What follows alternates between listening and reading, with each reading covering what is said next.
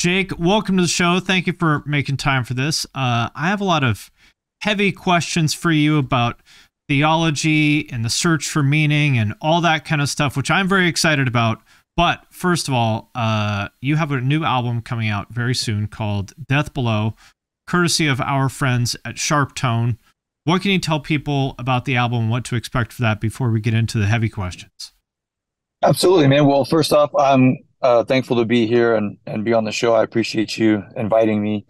And um, yeah, I'm, I'm, I'm excited for our conversations. But I, I think for Death Below, the record coming out March 24th, um, you know, we, JB and Dustin, our guitarist and bassist, are our main songwriters. Um, and I think during you know this whole pandemic situation um, they really just wrote how they felt and i think in that time like many others um, we were kind of facing um, some some struggles isolation um, you know uh, some fears. And as a whole i think our band was kind of going through a, just a, a challenging time. So a lot of the music on this record is you know, gloomy, dark, um, kind of has some sorrow to it. Um, and it's very progressive. So it's it's it's definitely a record of its own with its own identity. Um, and I think that uh, I think people will resonate with it because I think that they themselves will connect with the feelings and emotions that the music and the lyrical content carries. And um, but it is unlike something we've done before um, and and I, I, find it to be very uh, unique and beautiful in its own way. So, um, but I'm very proud of it, and I think it's uh, something very special. I've heard kind of similar things from a lot of bands about albums that they did during the pandemic. And I think maybe a lot of fans may not understand how stressful that is for you guys because you know, nobody knew how long this was going to last or what was going to happen when things would come back. And most bands, I mean, you guys do well, but it's not like you can just chill without making money for three years or something. And it's like the pandemic took your income away, most of your income away from you, took, you know, your lifestyle away from you. And, you know, that was a much, a much more stressful situation for bands than I think a lot of people may realize. Absolutely. Um, yeah, I mean, it, it was definitely a challenge. Uh, you know, going from touring four to six months out of the year to absolutely nothing. And I I do believe that we tried to do the best with what we had. Uh, we had like a, a live stream. We were, you know, recording some songs in the studio, trying to stay connected to our fans and stay active. Uh, there were some, you know, some bands didn't really um, have much there, and and so I think we tried to scrape together as much as we could. You know, it was it was really unfortunate because we had just we were on tour when you know the whole world shut right. down, and we were about to release our record Guardians, and you know we were thinking, well, wh- what should we do here? Like, should we not release the record because now we're not going to be on the headliner promoting it?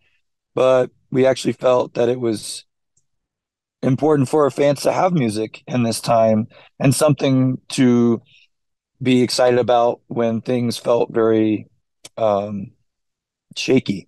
Um, but yeah, I think overall, you know, we made the best of what we could, and we're just all very thankful. I think it was a good moment for artists um, and just for people in general to be thankful for what they have and realize that life is fragile, things can be taken, and it also might have inspired artists to dig a little deeper as being unique to themselves and creating something even more different or um, human than just going, oh, we're going to write a catchy, you know, right. catchy song or, you know, whatnot. So, yeah, it made a lot um, of people sort of ask fundamental questions about life that maybe they'd never really thought about before. And you know feel like feel their own mortality in a way that a lot of people you know in their 20s and stuff i mean when i was in my 20s i never thought about that you know but with covid everyone's like oh shit like any of us could actually just die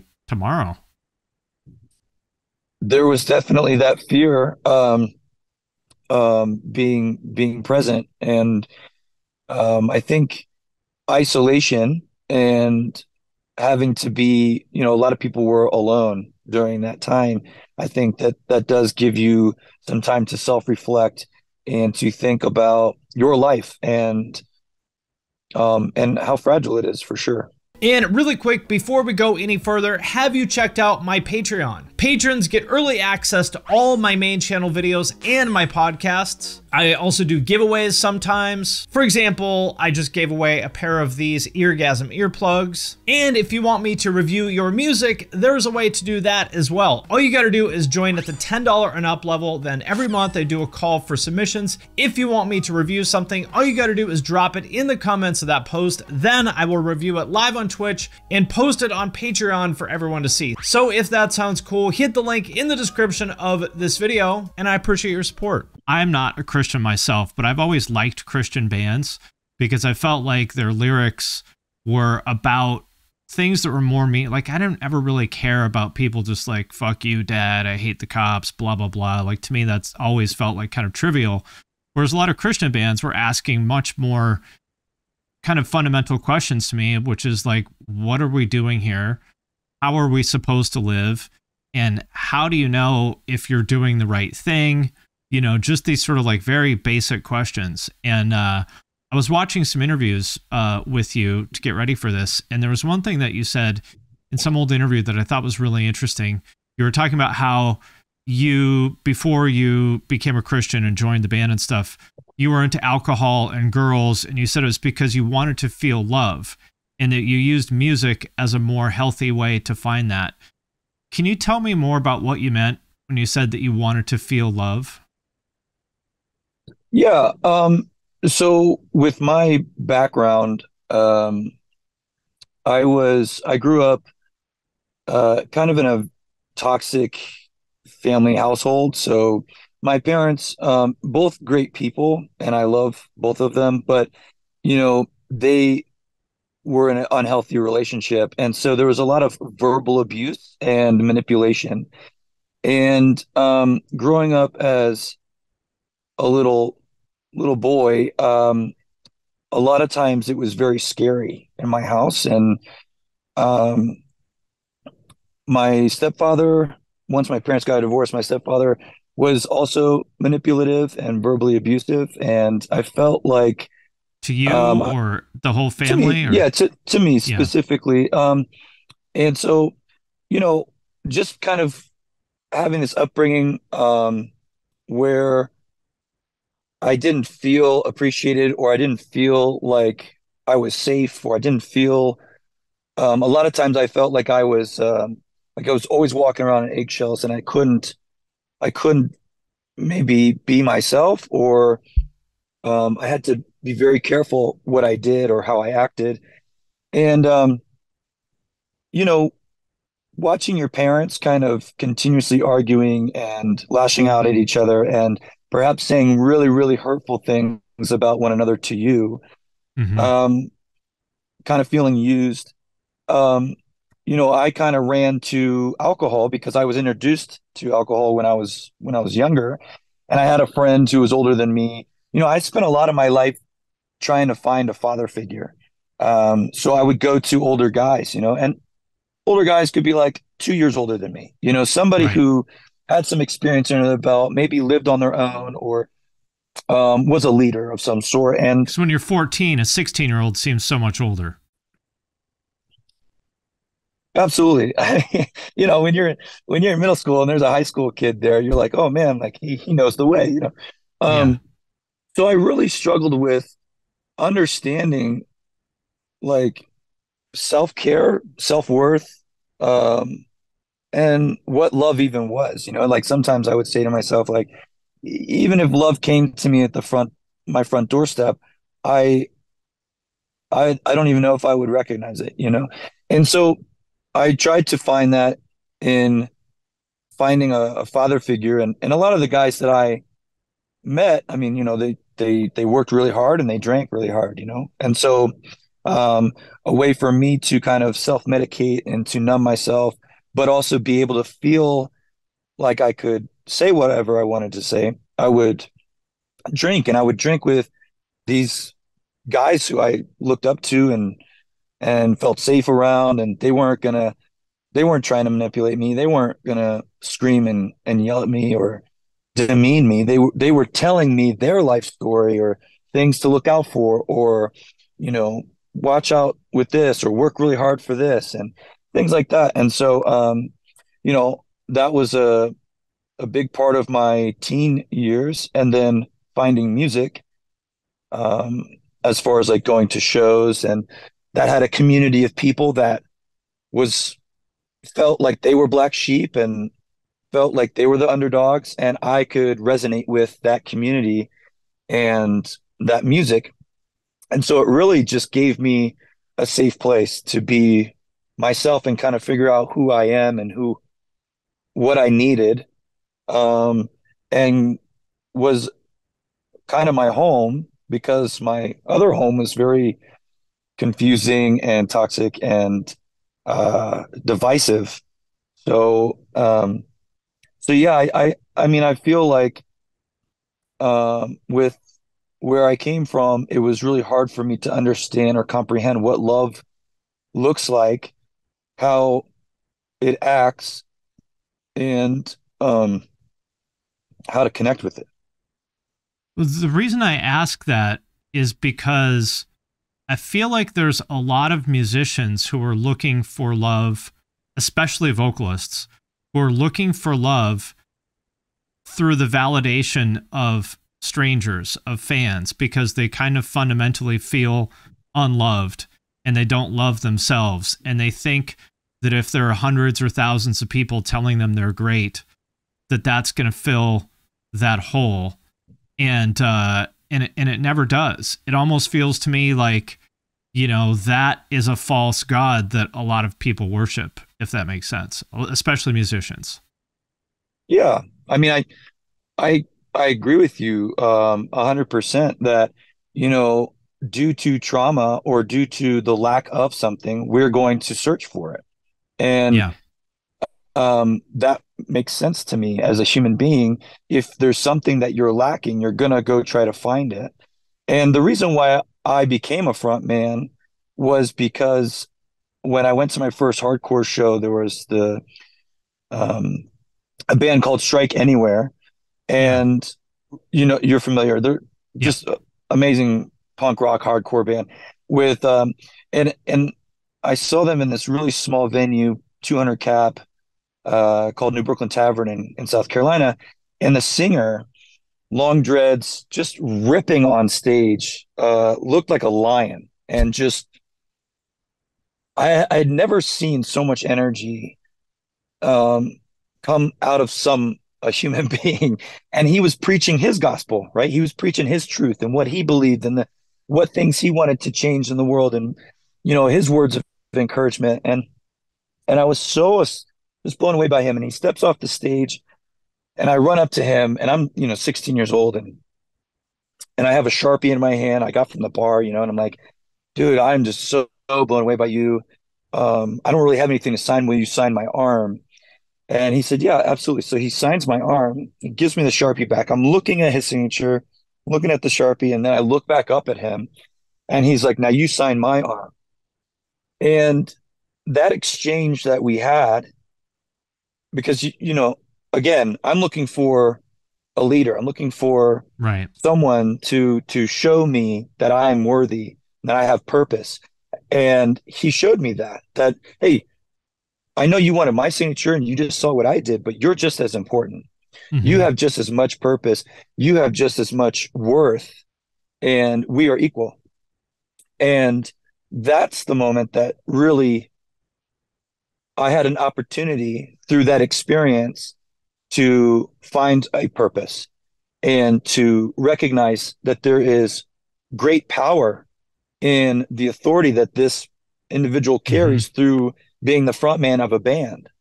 And I said to myself, I want to do that. I want to, I want to be that guy, you know? And, um, so that was really the, you know, the fire starter for me not only did it give me direction and and it, and it gave me purpose, which is something that I so desperately needed at that point um, to know that I had a purpose and things like that. Um, but you know, here we are on our 20 year anniversary tour for August Burns Red, and um, you know, and I've you know been able to make an impact um, with the music industry and and and our fans and um, in what I believe a positive way, you know. So um, I'm very thankful for that experience and that moment of my life because it literally changed the course in my journey. I mean, it's amazing how one interaction like that, which was whatever, 20, 25 years ago, can really change the course of somebody's life. And you never know who you're talking to at any moment that might be having that moment with you. Absolutely. Um, and I try my best to recognize that and spend time with fans. I mean, in, in the beginning years, um, you know, I made a promise to myself that I was going to go to the merch table and and talk to fans. And at first, you know, it was like maybe ten people. And then it grew to, you know, me st- standing at the merch table for like a couple hours after we played. Um, and then in 2011, um, I had, you know, I'm I'm I'm uh, a faith man, and and I'm, you know, just very thankful for what um, God's given me in my life. And you know, I don't like to put my uh, my faith on people. I don't think that that's uh, respectful. But if but if people want to know about my life, I I, I can't deny my own truth. Um, and you shouldn't. I mean, why? It's such an important part of you. Why would you hide that? Right. Well, correct. Yeah. Um, so you know, I'm I'm on tour with the Day to Remember. We played back to back shows in Chicago, sold it out, and um, and I was just at the hotel that we were staying at, and I was just like, God, thank you so much. Like, this is amazing. This is unbelievable that this is my life. And I really would love to give back. Like, if you can show me or tell me what to do that I can give back in a more meaningful way than just being on stage and then, you know, having some conversations. And this vision um, came to me that night of creating an online community for essentially in the beginning for my fans to be able to share about their stories together. Because what I was realizing over the years of going to the merch table was I'd hear stories of, you know, hey, I'm I'm sober from, you know, I'm clean of heroin for three months. I wake up every day, you know, with my sober buddies and we listen to composure. Or I was sexually assaulted when I was a child, and the song Redemption has taught me to, you know, forgive and find healing for that. Things of like that, really deep, personal, challenging experiences that my fans felt they could be comfortable to share with me. And I would go, you know, I would talk with them and then I would go to my trailer or, you know, or my van, excuse me, or my bus, and they go home to the same situation. So this vision came I was like, hey, we can connect and stay connected with these fans with these stories and let them know and understand that there's other people that have experienced similar things. And they can you know be encouraged and grow together. And maybe maybe somebody's like hey this really helped me you know get healing or this is my story. And just hearing someone else's story could benefit that individual so I made this website. I made little cards. And so with the website on it, and so that when I would meet people at the merch table, I would say, Here, here, take this card and go here.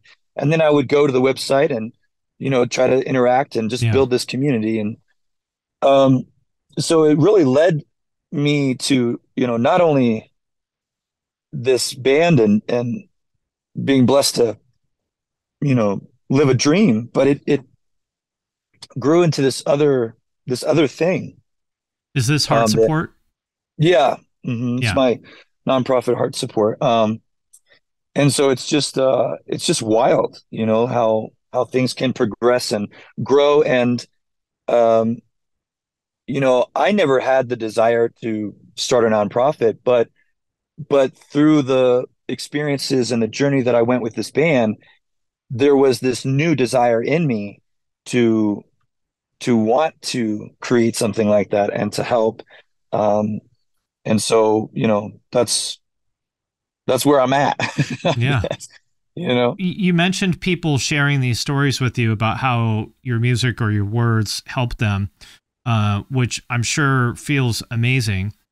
The flip side of that, which I have seen a lot of people, in particular in Christian bands, kind of fall into, people who I think really did mean well, and I, and I don't think they're malicious, but you can tell that they got a little bit lost in the sauce and almost started to feel like they were saviors and act like that a little bit, um, which I totally understand. And again, a lot of these people are like 22 and nobody was like, if I heard that I saved someone's life when I was 22, I, I don't even know how I would handle that either. So I get it. But my question is like, how do you kind of stay humble and, um, have there ever been moments where you've caught yourself kind of getting a little bit lost in the sauce? Absolutely. Um, so there was a time in my life, um, and I, I would say that probably the interview that you were referencing was probably the birth of my religiosity. Um, because I was so infatuated um, with my faith and the Christian faith, and um, and I still am. And um, you know, obviously I have many more years and experience under my belt, but there was a time where I had become very religious and the the really hurtful thing is that I ended up hurting a lot of my family um, and people around me and I was very judgmental towards myself um, which thankfully I've had the opportunity to make amends with my family for but um, I think that you know one of one of my friends says, "Hey, you know, like the enemy, evil, whatever it is.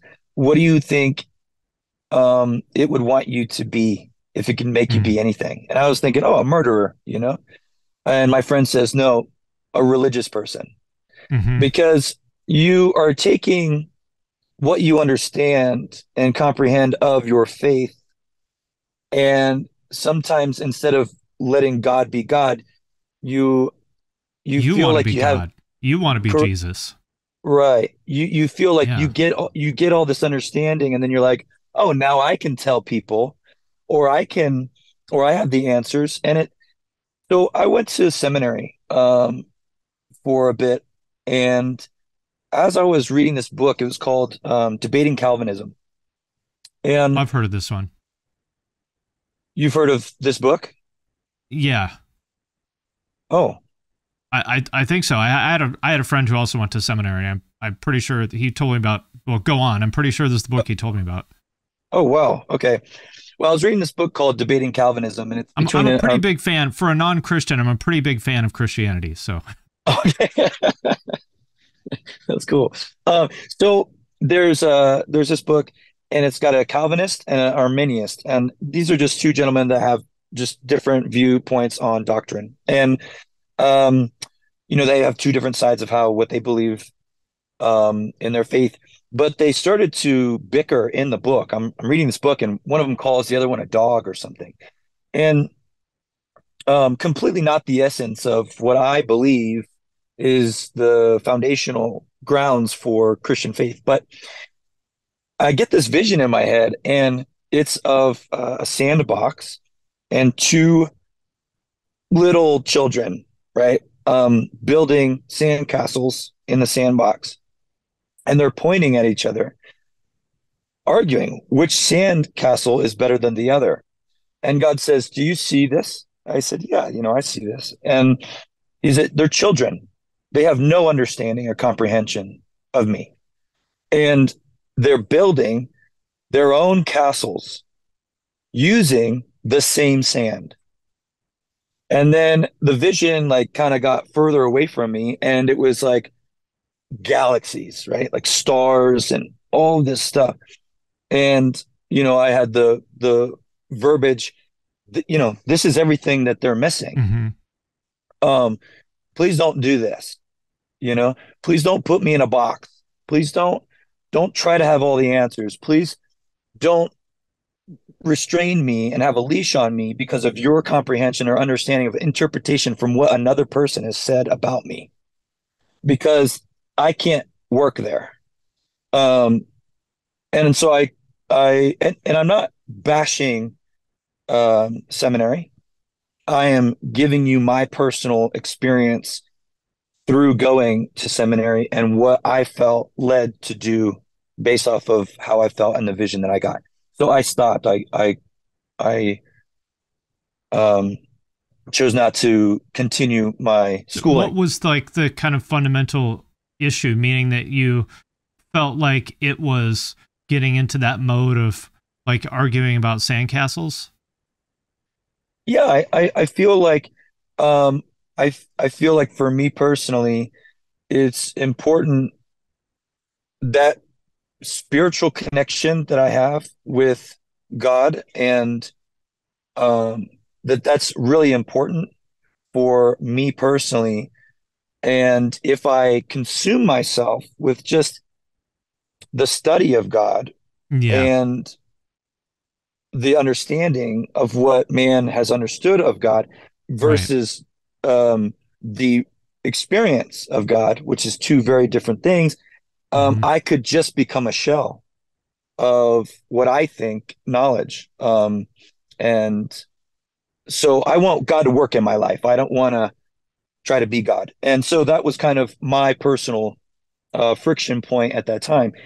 And um, so so yes, to answer your question, I, I apologize for getting a little a little off there. no, no, there- not at all.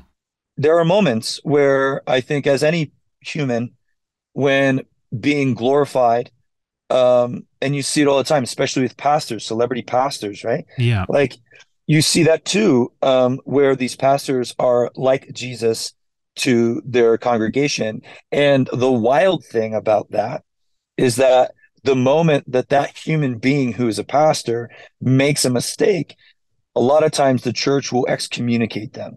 They Right. won't they won't try to surround that person with love and grace and understanding and try to solve the issue. They'll just cast them out. Um, and so obviously that's not okay. But you know, in those moments and in, in those times, you definitely try if you want to be humble and you don't want to take advantage of that, you you do recognize it and try to face it and say, okay, hold on a second, you know, um, because I too feel uncomfortable when someone says, "You saved my life." I did not save anyone's life. Um, I might have been a vessel, catalyst, tool, resource for you, um, just as much as the singer from, you know, Strike Anywhere being a vessel, tool, resource for me to feel and make some sort of connection. Um, and I'm glad that I could be of service, but I I am not saving anyone's life. Um, that's not my position. And as a and, and as a Christian, I don't believe that that's my position. I be I believe my position is to love God and to love others. Um, and you know, we can get into the you know s- the sticks with all the little you know things and and what do you think about this? What do you think about that? And you know, quite frankly, um, my understanding to some of those things is is I'm still growing. But what I do know Meaning, what I like, if do- someone asks you about some the the getting in the weeds with some particular verse or that sort of thing. Yeah. Yeah, I because yeah. Yeah, I think that we're so we're so hungry to know that we're either right or that Mhm. that's the truth and there's nothing else. And what I'm learning in my life is that if we believe in, you know, the Bible or we believe in life, it evolves, it's growing, it's constantly moving. And I'm not here to tell you you're wrong and I'm right. I'm I I believe that there is a life and that we're all working on separate experiences and journeys. I do believe that there is a God. And the only reason why I believe that there is a God is because I believe that I'm having experiences with God and God's doing things in my life. And I have worked very hard to try to have a father in my life. And God was like, I'll be your, I'll be your dad, you know, like you're running to all of these men and they're they're all, you know, men. They're humans, Yeah. you know. But but if you you know come with me, I will I will show you what a man's supposed to be, and I will and you'll never be alone. And so that offer for me sounded pretty great. Um, that was that was a, a beautiful invitation for me, and I find you know Jesus' story to be a love story, and my relationship with God to be a love story. So, you know, I'm not out, and and I think that that's why I might have turned from seminary because I had a vision saying, "Don't put me in a box." so I didn't want to learn all of these things and hold on to them and just be like, "Nope, that's the only way that this is going to fit." And Right. um, I just I don't think that that's my job. I think my job is to love people where they are and let God be God and try to be sensitive to um, loving people the way that God has loved me in my life. Um, and again, also give myself room to recognize that I am human, and which that is a humbling place to be because there are times where I feel like I'm God, and uh, you know, and and and that's and, and I have to check myself at the door, um, which I try to do, you know. But um, yeah, you you mentioned the importance of men having a father figure which i'm glad you did. I think that's like such an important message that i know there's going to be some people listening to this are not going to be happy with me saying this and you don't have to agree with it but i feel like in the past i don't know probably 30 years or something like that like the the idea of the nuclear family and in particular the importance of men has been kind of under attack and i know that that's not a popular thing to say but like men need a father. And i understand i mean my parents got divorced. I don't know my birth father. Like i understand that sometimes families don't work out. I'm not judging anyone. I totally get it. But men go off the fucking rails if we don't have a father figure in our life which like the person i call my dad is not actually my birth father but he acted like it. And uh we just we go off the fucking rails if we don't have a strong man in our lives yeah. Uh, so I understand that has become a political issue, it's just not like political to me it's not right. it's just a, I- a fact of life Yeah, and that's kind of what I was gonna say. Like, I feel like um just in general, society has politicized everything, right? yeah But but let's take let's just for for people who are listening, because obviously you and I are on similar pages. Let's put all of that aside and just look at life and humans and people and how we work. Um, you know, when my parents got divorced, um, my mom had no money, you know, and and she was working two jobs trying to provide for myself and my sister, and we ended up living in lower income housing. Now, in lower income housing, there are a lot of moms that are moms and dads and have to provide and protect and nurture and um, help their children grow. And the shit that I saw there is really sad. Um, and really can mess you up. and shout Um, out to all the mo- moms doing all of that by the way like this is not a criticism of them at all like i have tremendous admiration for them and we should do everything we can to help them because that is an incredibly difficult situation unbelievable the amount of stress uh, and, and anxiety that I saw my mom going through. Um, but you know, I mean, I was selling toys on the street. Um, there were, you know, I was hanging out with gangbangers. I was selling jewelry at school, Trident gum for 25 cents. Like, um, a lot of these dudes d died early and young. A lot of their, you know, dads were dying and or going to prison. And um, and it looked very dark and gloomy because there wasn't a lot of opportunity there. Um, the schooling system wasn't very good. The people that were there were hurting. Um, and there wasn't anyone who was taking the charge saying, Hey, we're going to do this. This is the plan. I Mhm. need you to be this. I need you to do this. I'm going to shepherd you. I'm going to, I'm going to love you into the position that you're supposed to be. Yeah. And so we're all running around with our heads cut off. Now there were gangs that were like, "Oh, we'll gladly take you," you know. We'll give you direction oh yeah, we'll we'll because that's we'll what you're looking you. for as a young man. You want direction. You need it, even if you don't understand that. Young men desperately need and want direction. One hundred percent, and um, yeah, it, it it it's a real problem, in my opinion, um, because men with no direction are scary. Yes. Um, we, we we we can be very scary because we're there's something in us that innately wants to to fight. God.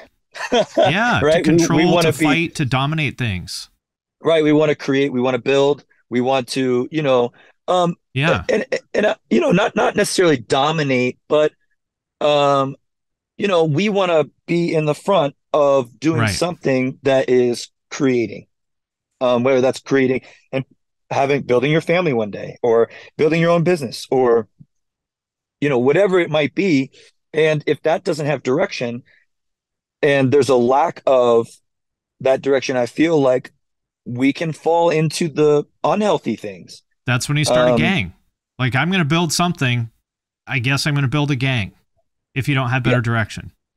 Yeah, I mean, it, it's just it, it's just wild. Um, I mean, I just think that the family unit is is important, and you know, kudos to my mom for for being able to really raise me the way that she did, because I feel like considering all the variables within the wild equation of how we lived our lives, I came out fairly good.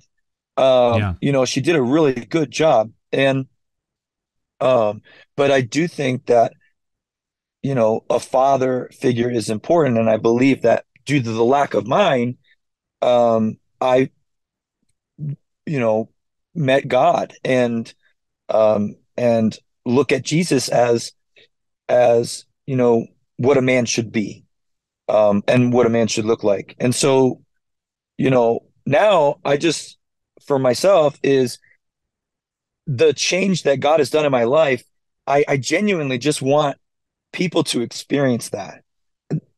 That that's why I, I share when people ask me about my faith is because like I genuinely want people to be able to get out of the things that I got out of, heal from the things that I found healing from, have comfort in the moments when I've when I'm, you know, sad and struggling. Um, have someone to cry out to that I believe is going to show up and help me navigate the stormy waters of this life. Um, that's that's honestly what I want for other people, and I feel like it's a good thing. And I feel like, um, you know, for a man like me who didn't have a dad, it was, uh, it's God saved my life, and and that's that's a legitimate statement. So um, that's what I want for people. Um, and I understand, I understand that what I experience is not what other people have experienced with faith. And I think that religiosity, not having the tender understanding of God's relationship in your life and being able to hold on to that in order to be a catalyst for love, for God's love, um, and just judgmenting people leads people away from God entirely. And they want nothing to Being do a with Christian and being close to God are two different things, right? They they absolutely can be. I yeah, I, I think that you um well, I think that Christianity is about God, but I think that what we tend to do is we tend to take what we want from Right. this beautiful story and then use it.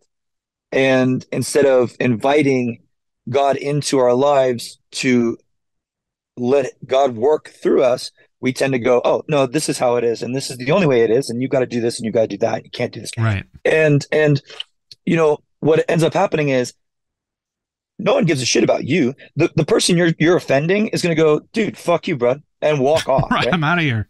Yeah. And then and then you're never going to see that person again. And then that person five years down the road, someone's going to be like, yeah, God's God's been so great in my life. And you know what they're going to go? They're going to go, Jesus, don't want anything to do with that dude. Yeah. Fuck that guy because of what the person, the experience that they had previously with another human being. And like, that's why it's very, very, like, I, I, uh, you know, I got to be very careful how I speak. And in past years, I didn't do that because I didn't understand the severity of, of Right. maybe what I was doing or saying. But I, I, I recognize that now that I need to be very careful how I speak, and I would rather try to do my best through my actions um, to show people the gospel um, versus just rattling off all of the cool stuff I know, because that doesn't Right. really do anything for anyone. And now I feel like even like our communication is so damaged because we don't listen to one another, we don't try to understand one another, we feel like we are better than the other person and that we're not equal. That's what I'm seeing from society right now. And um and how are we supposed to grow together if, if that's if we already have these walls?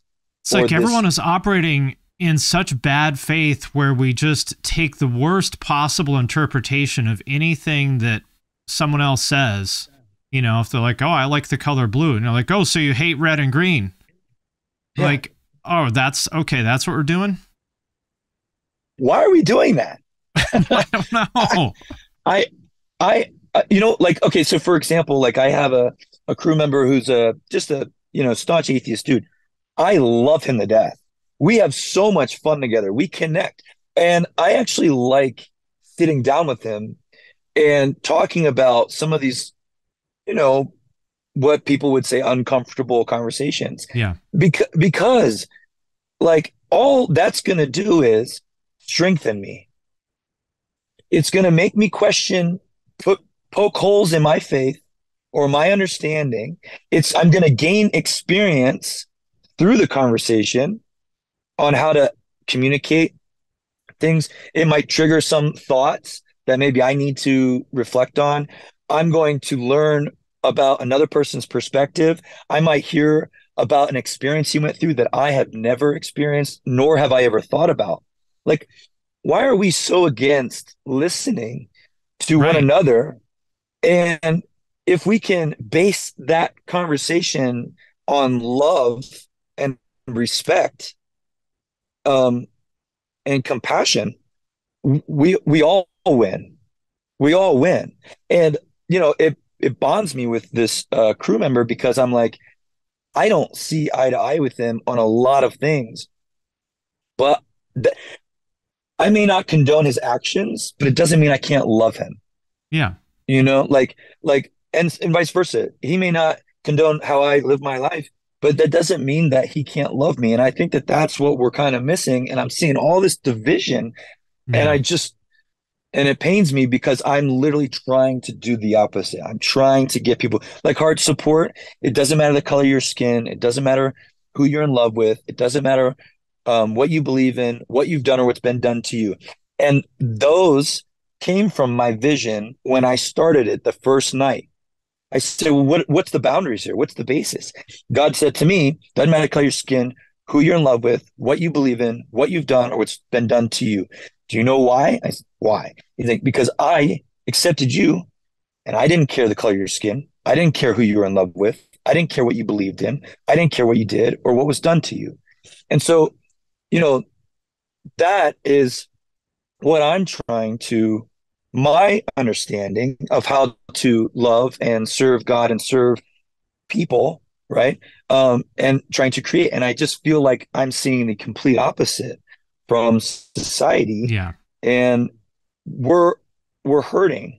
I think everyone is hurting to some degree. That's what it is. Um, and they're taking out their pain and misery and frustration with the world on other people and that's only making it worse and it's sad and i don't know how to break that cycle i'm only one person i there's only like i i I- don't know what to do but it sucks do you know? My dad told me he goes, "Hey man," because I had this. I went through a really gnarly divorce in 2015, and you know, I was drinking pretty hard, and I was so angry at myself, also at God, Um, and I said to my dad, I go, what's the point? You know, um, what's the point of doing all this? You know, and I went into some pretty heavy stuff with him, and I, I don't want to go into it here because I I Sure. really don't want the listeners to start questioning that in their own life. It's Yep. I don't feel like it would be beneficial. Um, and he goes, look, you've got your little piece of the map, and you just do what you can there, you know, and that's that's you contributing. Um, we think that we have to be somebody at the top in order to make all this change. But if we were to all take it upon ourselves to make the change, the people at the top don't have the authority at all, anyways. Right. Because, like, do you know what I mean? You can, Yeah. somebody could say, this is the way it's going to be. But if all of you just, just, just, There's a million of us and there's one of you. What are you going to do about it? right, like, we are choosing to do this. So it's, it's a choice that we have. And, you know, it's a beautiful, uh, it can be a beautiful opportunity to not only change your life that you have and your purpose and bring you more fulfillment and joy through acts of love, but um, it could change the entire, you know, course of where we go as a society. I Um, mean, uh, look, when I was a kid growing up listening to all these punk bands and stuff, I was a super hardcore atheist that, you know, looked down on any religious person and blah, blah, blah, all that typical kind of stuff. Um, but uh, I, I don't really know why. I guess because maybe I heard some like Christian hardcore bands or something like that. I was like, well, I'm not going to just be this dogmatic guy that won't even give it a chance. So I made friends with some of those people and I went to church with them and I went to Bible study with them. I went to some Krishna temples. I've been to, you know, Catholic, you know, um, uh, Catholic mass with my mother-in-law a million times and stuff. And I don't Yeah. necessarily, it's not like I became Christian or Krishna or Catholic or whatever, but I'm really glad that I did that because I learned and grew so much from it. And I took so many really, really important, like transformational ideas from that that helped me a lot. And maybe even more importantly, I used to, when I was a kid, I was honestly ignorant and judgmental and looked down on Christians and thought they were stupid. And same. and from getting to know them, I, I realized that, you know, I was just being a judgmental asshole. And I'm not saying that I have it all figured out or anything like that by any means, because I'm sure I'm still a judgmental asshole many times. But uh, I- just would hope that anybody, like, why would you want to go through life having any kind of like ignorant, judgmental ideas that are based on just a fundamental misunderstanding of reality, you know? Right. Right. Yeah, I I just feel like um I feel the same way you do, uh, where I was judging the church and I, you know, I was in just like I was so judgmental towards the church, and I've been that way my whole life. Um, And a lot of I Christians started, are, by the way. People may not know that, but there's a lot of Christians who don't like the church. That's a super common thing. yeah, the, the um, in my opinion, I have traveled the world and I would go to churches everywhere, and they're all doing it the same way. And I thought to myself, well, that's weird. Like we're supposed to be um, connecting with the Holy Spirit and unique in, you know, and they're all serving the same community or demographic. They're all structured the exact same way. And that just feels very organized, uh, business oriented versus like, hey, this is how our church is because, you know, this. Now I can go back and forth and I've I'm not bashing churches because I have plenty of leaders in churches that I highly respect and um and love. But I'm just giving my personal experience through my life, and that's what I can. That's the only thing I can give. But I realized that I was going through church, and I'd be like, "Oh my gosh, this is tacky. This is stupid." Blah blah blah. Yeah. And God was like, "Hey, what are you doing?" And who are you to know? judge? Right? Like You're just a guy. they're just, yeah, they're broken people just like you, bro. Like, yeah. shut, shut, and and they're here worshiping me. So what, what, are- what are you doing right now?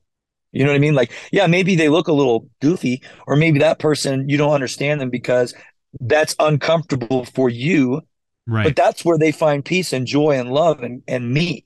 So exactly. who are you? Who the fuck are you? And I was like, you're right. You know, and um, I remember I was thinking about this in my house. I was running around crazy by myself, and I was like, God, I need to, I need to apologize. I need to make amends to the church. How do I do that? I shit you not, dude. My friend Ben Sledge calls me. He's a pastor at a church. He calls me within seconds of me saying this. And I was like, you've got to be kidding me. Like, so I just pick up the phone. I'm like, hey, dude, I don't know why you're calling me, but I need to apologize for the way that I and and he know he knew where I was coming from and my backstory, and uh, you know I got to apologize to him at least um, for the the way that I had perceived the church and judged them and all that kind of stuff. Um, so it's just very interesting, but but yeah, I feel like a good start for us eh, who want to pursue faith or don't is really taking time to understand us who we are um what what do we believe is the point or purpose or life what are we lacking? And where do we honestly believe we can find that? And maybe start there and go on this journey. Or if people want to encounter a relationship with God, you know, one of the things that I really like to do is uh, journal, and I like to journal my thoughts and how I feel, and then I like to ask myself questions from those things, and I pray in the sense of I'm gonna I'm gonna just invite God into this, into my my my thoughts, my body, my spirit and my words and and just see what happens and what comes of that.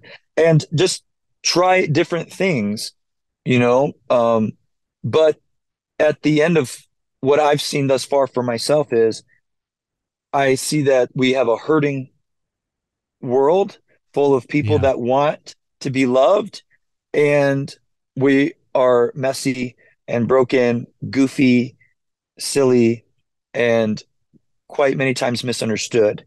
And I believe that there is a God that has created these people. And I believe that God has a source of unconditional love. And the more that I can understand that, the better I can receive it and then give it. Because I believe whether you're a Christian or not, that's fine. I believe that we were created for two things. Um, th- one is to give love, and one is to receive it and we can't do either of those alone. Um, so you said, well, look at these front men, and you know they they have thousands of people praising them. They want to be loved. They yeah. are receiving that love, right? What are they doing? They're they're giving what they have, and they're receiving. People on Instagram, they want all those followers. They want to be loved. They they feel like that's a good way of them getting love. You create your own business, right? You you you feel loved. You've given something. I opened a gym during the pandemic. I have my community there exercising and working on mental health classes and exercises. That to me is me giving love.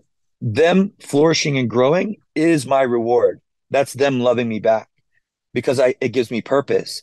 It, it shows me that I am making an impact and they are growing from that and they are bettering themselves. And that's what I believe my purpose is. I, I'm going to give you one just brief story real quick. Yeah. Um, and then uh, I'll be quiet. So I built this gym with a bunch of people. I think that if we want to be successful, we need to have a body. Um, Your so, Life Gym is the name of it for anybody who's interested, by the way. Thank you. So, so I, I need a body of people to help me. And that's exactly what happened.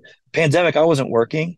The president of Arsenal Strength, which is a very, very high end um, exercise equipment company, I went on tour with him. He was in a band called uh, The Showdown he donated him and his partners donated equipment to me for my gym. My realtor found me a beautiful gym space. Um, that gym space was actually connected to a church, which I thought was hilarious and um, kind of chuckled at. But now I have learned that the people at this church are actually really amazing, beautiful people.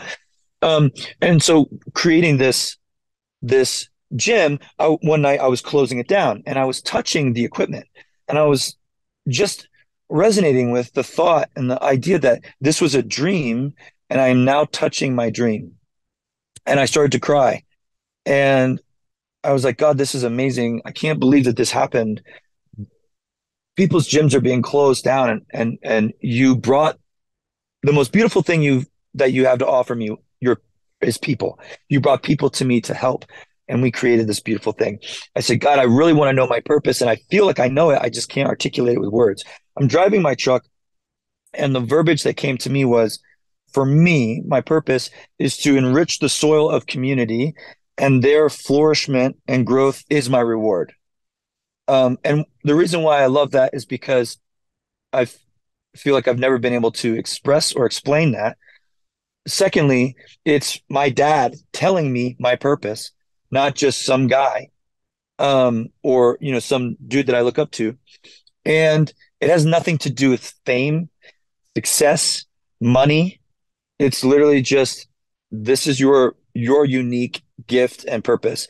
And and I want that for other people. I want other people to have and to know and to believe or to trust and have faith that they've got their own unique purpose and then to live that out. Um, because I just I just don't want I don't want everybody to feel like they have they have to be the same like everyone else because I think that cheapens the authenticity and uniqueness and individuality of us as creation. Um, so I just wanted to share that. Well, I have one last two part question for you. Um, I think that one of the kind of common themes that we have talked about in this in this podcast is about like judgment and being judgmental and like how to how to um how to overcome that in our lives because it's like such a negative force in the world. Um, for me personally, I get very frustrated by the fact that there's so many just, to be honest, like negative, judgmental dickheads in the metal scene in particular. And uh and and I I don't want to be angry with them because I know that's not the right way to respond. That's just like my animal instinct as I get so irritated with these people that I interact with them constantly. Just like I fucking hate all you people but I don't want to feel that way because I it's, it's just it's not going to help me. It's not going to make the world a better place. So my two questions are: number one, um, if somebody out there might be like, "Oh, I wonder if I'm one of those negative, judgmental people in the metal scene." What would your advice be for those people? And second part is, what would what is your advice for me to avoid getting angry and lashing out at those people? Because I know that's not the right way to respond. Sure. Yeah, those are good questions. Um, well, first off, we're all judgmental, right? Uh, to some degree, at some point. Um, and I think for someone who might be like, "Well, am I that type of person?" I would say, yeah, simply, how do you re- how do you typically respond to people? How do you communicate to people? Do you shut them down? Do you listen to them? What kind of comments are you leaving on Instagram? Right? like what you know, let's start there. Like, you know, yeah. Um, I rarely leave I don't know the last time I left a negative comment on on Instagram because it's just not my time is valuable. And I would rather invest my time into positive things because I understand that I'm going to either give or receive love through that.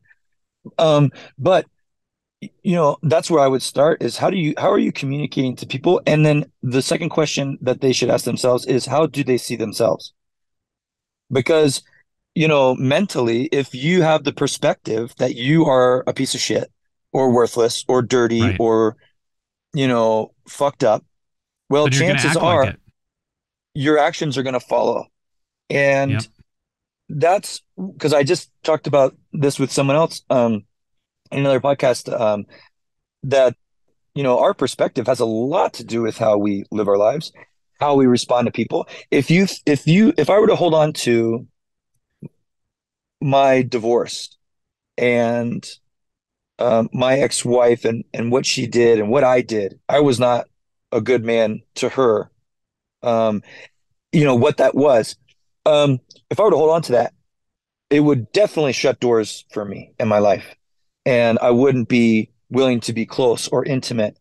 I wouldn't be, I would be nasty.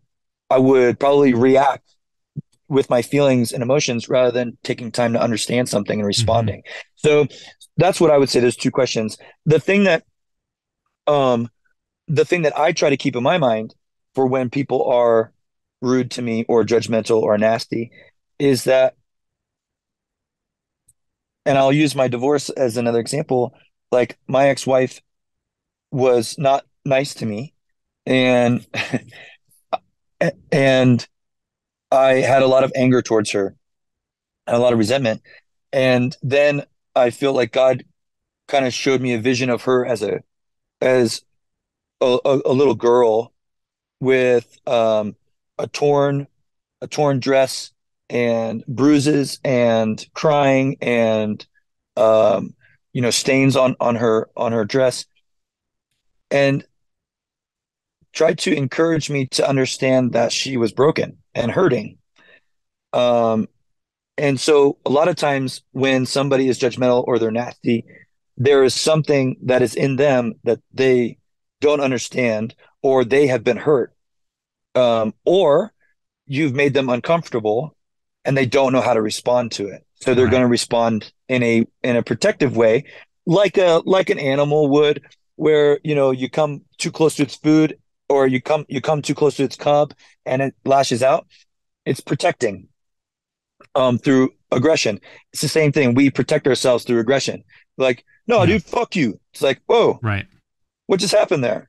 Right. Um, so trying to understand that, like, man, that's a human. And I've had moments like that too. Um, what can I do to better the situation? Can I help this person? And if I can't, I need to walk away because I'm just going to yeah. make it worse.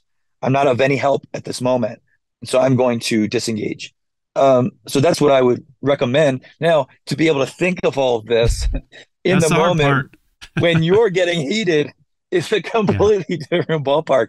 But that's what I personally try to do to my abilities as uh, just being a human dude. Cool. Well, I appreciate it. I will let you go. Thanks again for making time for this, and uh, I am excited to see the album. Yeah, thank you so much for your time, man. This has been a really um, interesting, intriguing conversation. I appreciate it.